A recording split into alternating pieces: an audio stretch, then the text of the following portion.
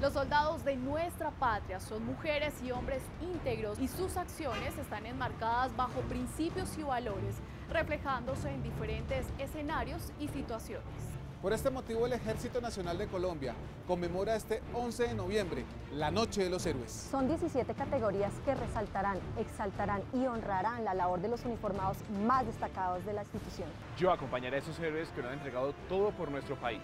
Si quieres conocer más a fondo las historias de esos soldados con verdadera fe en la causa, te invito a que los describas en una sola palabra a la cuenta de Twitter arroba col ejército y haz parte de las 10 invitaciones que tenemos para todos ustedes en esta gran noche. Apoyemos a nuestros héroes con mucha fe en la causa.